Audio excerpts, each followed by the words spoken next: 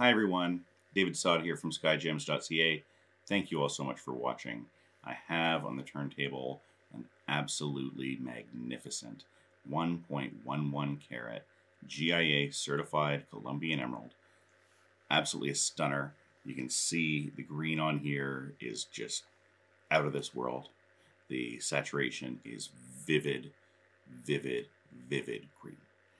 Right, as it's coming around again, you can see the the screen. There, there actually comes a point where uh, you don't get to see how beautiful the saturation is on a monitor uh, or on a phone screen, and this is kind of where we're at with this stone.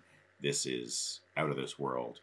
This is a gem that has so much green in it. I mean, you see from you know, from 20, 30, 40 meters, this sticks out and it's a dot of green from, you know, from far away. Uh, for just to give you an idea for those of you who still use feet, I mean, we're talking, I'm serious, 50 to, you know, 50 up to 100 feet. You're going to see this. It's just unbelievable. And uh, un- oh, look at this stone. It's bright. Uh, it's quite clean for a gem that's this saturated and this is a gem for for royalty, for aristocrats. This is a gem that says something about you. It says that you are willing to be, you know, noticed, and you are willing to stick out and stand apart from the crowd. Right? You have something that is blazingly bright green when everybody else has, you know, white on white, or maybe white on yellow, or maybe even white on pink. Um, right? And if you know what rose gold looks like, it's not even that crazy pink. And this is something completely different. This is for people who want to stand out, who want to be different, who want to have something different, and uh, really make a statement about themselves. You wear jewelry to make a statement about yourself. That's, I mean, let's not fool ourselves. All right, whether it's just a simple wedding band to tell people that you know you're married, uh, or if it's a giant ornate piece of jewelry, right? Just because your piece of jewelry isn't necessarily ceremonial, right? Uh, it still says something about you, right? It has a purpose and a meaning. And wearing colored stone jewelry says that you're different and you're willing to stand out and you're willing to be different. Uh, this gem in particular, I really hope goes into an engagement ring. Uh, it's a beautiful gem that needs to be enjoyed every day. Uh, and if you're willing to actually take that step and say, how different am I going to be? Not only am I going to be different, you know, wearing my other everyday jewelry, right? My my right hand ring. I'm willing to be so different that I'm my jewelry that is my absolute everyday jewelry.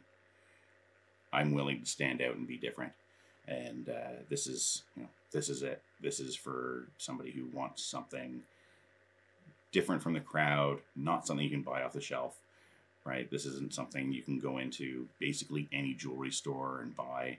Uh, go take a look around. I can tell you if they don't have gems like this right? If you go to the mall jeweler you go to main, main street jeweler they just don't have these.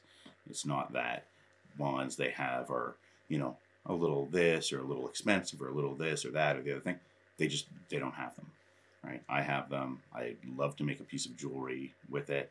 This is my specialty is colored gemstones colored gemstone jewelry so i'd love to be the one to get to make the piece of jewelry for you it's going to set up incredibly well and really you know as i said before it's going to make a statement so as i was saying this is going to set up incredibly well uh, this is going to give you i mean kind of sort of an idea of how well it's going to set up.